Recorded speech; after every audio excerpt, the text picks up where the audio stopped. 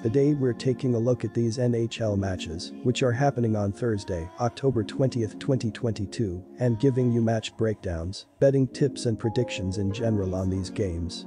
Welcome back to High Stakes, let's get straight into it, also, don't forget to subscribe and push that notification bell to get notified as soon as we release these sport prediction videos, and if you would like more betting tips and predictions, then check out our Patreon in the link down below. Our new Patreon is a way for us to help you improve your chances of making more money. Multiple plans are available for each and every one of you. By becoming a member of the High Stakes Patreon, you will have access to our best team picks, total picks, parlay picks and much more. Stop wasting hours of your time searching for bad betting predictions that ends up costing you a lot of time and money. Join the High Stakes Patreon now and get the best betting picks. Dallas Stars vs Toronto Maple Leafs.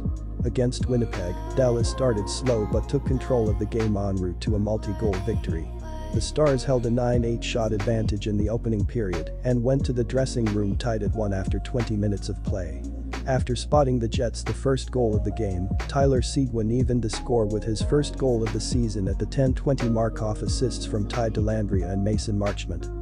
In the second period, Dallas held an 11-6 edge in shots on goal and outscored Winnipeg 2-0 to take a 3-1 lead after 40 minutes.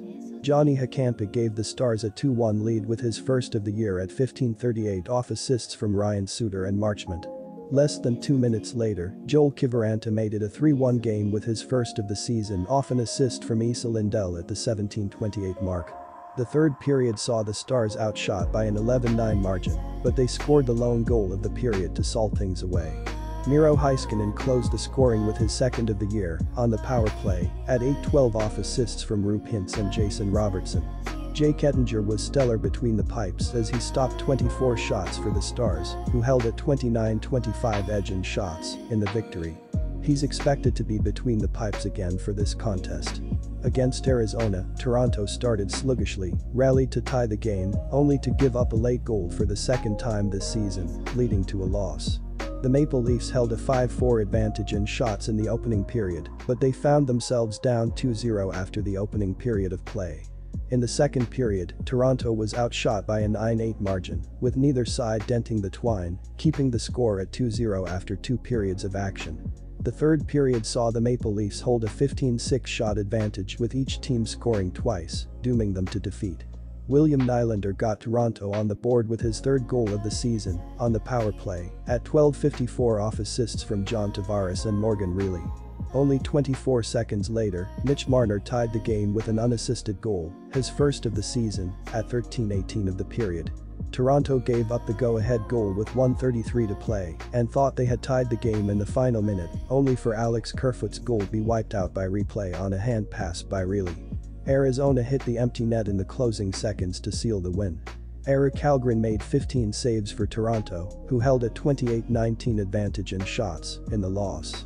Ilya Samsonov is expected to get the call between the pipes for this contest. Toronto will eventually get their offensive attack going, as their struggles in the first four games of the year isn't indicative of the talent they have to put on the ice. The problem for them in this contest is that they have to contend with a Dallas team that has surrendered all of three goals in three games this season. Oettinger has been the proverbial wall in net, stopping 84 of 87 shots, .966 save percent in those contests, while the offense has poured in 13 goals. That proves to be a challenge for Toronto as they haven't faced a team as stingy as the Stars yet this season. Oettinger does his job, and the Stars get enough offensive production to put this one in the win column. Our team pick is Dallas Stars plus 133. Oettinger is looking to emerge as an elite goaltender this season, and he looked very sharp in his first start against a solid Nashville offense. The Stars were a top defensive team last season, and Dallas appears to be picking up where the team left off last year. The Stars are well organized defensively, and they consistently block a lot of shots as well. Dallas should be able to limit a Toronto offense that failed to score more than three goals in any of the team's first three games of the season. The Stars also like to slow the game down to help their defense, and Dallas won't likely want to get into a wide open game with the Leafs top level talent. Our total pick is under 6.5 goals. Washington Capitals vs Ottawa Senators. The Capitals followed up their two-game losing streak by winning their last two games. They will try to keep the momentum going with a win over the Senators, which will give them their third win in a row. Washington is averaging 3.25 goals per game. They scored 6 goals on 30 shots in their last game. Alex Ovechkin had 2 goals and 2 assists for the Capitals. John Carlson had 1 goal and an assist, while Evgeny Kuznetsov had 3 assists. Kuznetsov will be serving a one-game suspension for high sticking. Washington has struggled defensively, giving up 3.25 goals per game. They gave up 4 goals in their last game and will need to do a better job if they want to get the win. The Senators snapped their two-game losing streak with a win over the Bruins in their last game. They will try to keep the momentum going with a win over the Capitals, which will give them their second win in a row. Ottawa is averaging 3.33 goals per game. They scored 7 goals on 31 shots in their last game. Brady Tkachuk, Drake Batherson and Tim Stützle had a goal and two assists apiece for the Senators. Artem Zub had a goal and an assist, while Claude Giroux scored a goal. The Senators lost two of their first three games.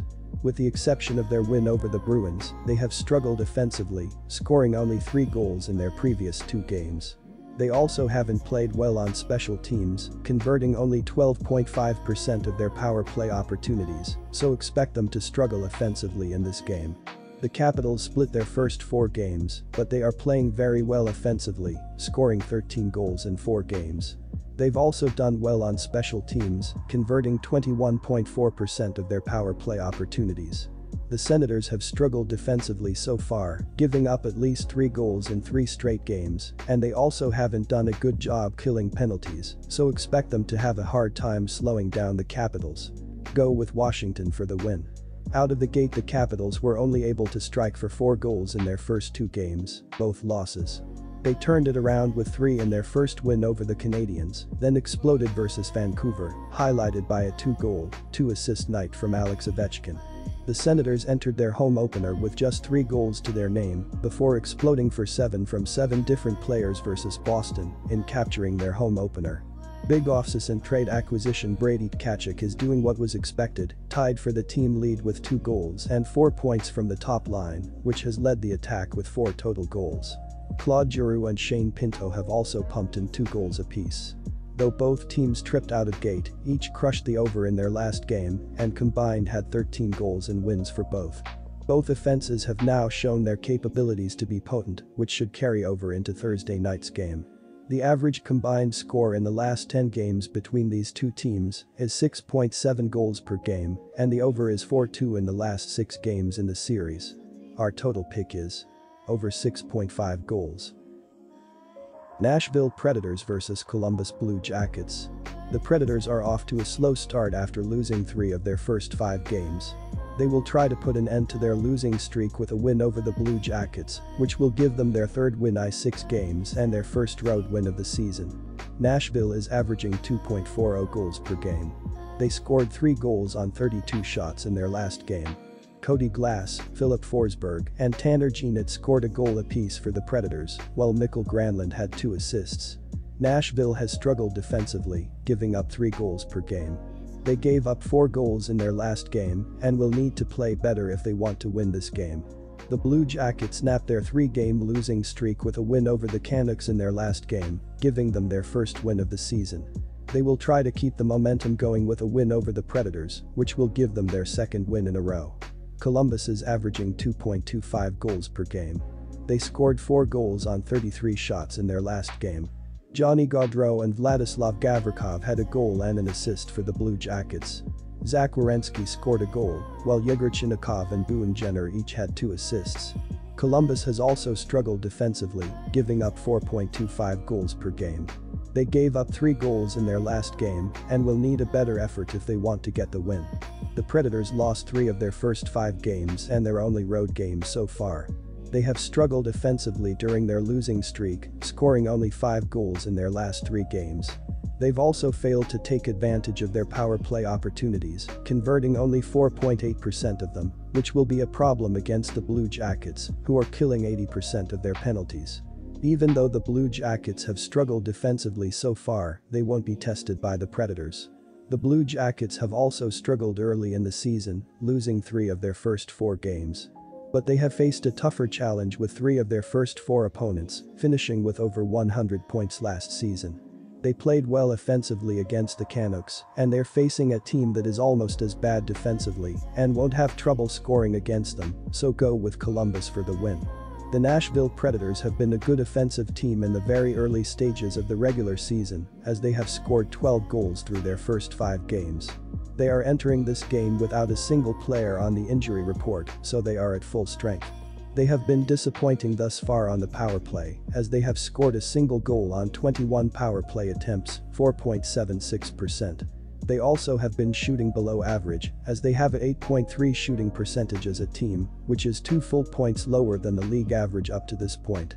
The Columbus Blue Jackets have been absolutely brutal at scoring the puck so far as they have posted 9 total goals, which is 25th in the NHL as of this writing. They have three players dealing with injuries with all of them being placed on the injured reserve right now.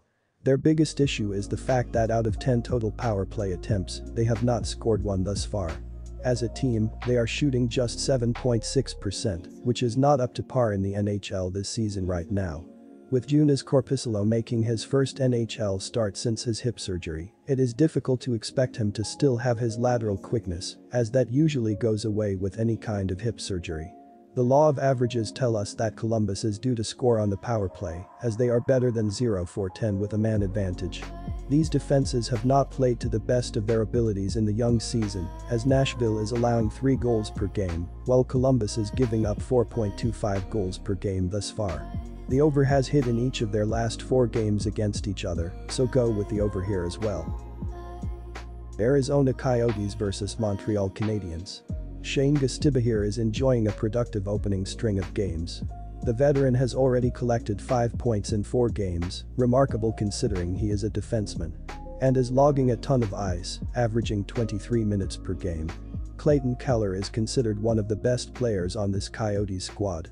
The 24-year-old winger has a goal and an assist so far. Keller collected 63 points in 67 games last season and was productive against Montreal, netting 4 points in the two meetings. JJ Moser has been a bright spot, amassing 3 points. The 22-year-old defenseman had 15 points in his 2021-2022 rookie season and has been one of their best players. Nick Suzuki is clicking. The 23-year-old was recently named the new captain of the historic franchise. The young center has accrued two goals along with three assists in four games.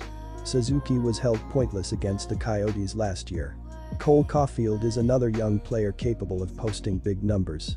The 21-year-old winger scored 23 goals last season and already has found the back of the net three times this season. The Habs feature a very young defensive core. Kaiden Guhle is a former first-round pick and it appears he is going to be a good one. The 20-year-old had two helpers in the win against the Penguins and is playing 20-plus minutes per game. The Arizona Coyotes are in full tank mode, and I believe they will finish last or close to last in the entire NHL this season. They are also playing without their best defenseman, Jakob Chychrun, along with one of their best offensive players in Nick Schmaltz. Montreal is also a young team, but is 2-0 in their two home games this season, defeating strong foes in the Maple Leafs and Penguins. Furthermore, the Coyotes are giving up a ton of shots. They are squandering an average of 41 shots on goal per game in three clashes. It's no surprise they have surrendered 14 goals in three games. I recommend taking the Canadiens to win in regulation for added value. Our team pick is Montreal Canadiens minus 160. Defense and goaltending were also terrible for the Coyotes last year. They rank 30th in goals against per game and last in shots against per game. Karel Vejmelka had a record of 12 to 32 3 with a 3.68 GA and 0.898 SV percent last season. He struggled in his first two starts, allowing 5 goals or more in each of his first two games, but he played well in his third start. Shane Gostisbehere had 51 points last season. He has recorded 1 point or more in each of the first three games, and he leads the team with 5 points on the season. Montreal was a huge plus 210 underdog in their last game, but they pulled off the upset and defeated the Pittsburgh Penguins 3-2 in overtime. Kirby Dach scored the game-winning goal. Nick Suzuki scored a goal and had an assist. Sam Montembeault stopped 26 out of 28 shots faced. Arizona has been able to light the lamp against the Canadiens in recent games. They average 4.67 goals per game over the last three contests against Montreal. They have improved in each game on offense this season. The Coyotes scored two goals in the season opener, three goals in the second game, and four goals in the third game. Karel Vejmelka struggled in his first two starts, allowing five goals or more in each of his first two games. The over is 6-4 in the last 10 games between these two teams. This will be a higher scoring game and the over will hit. Our total pick is over 5.5 goals.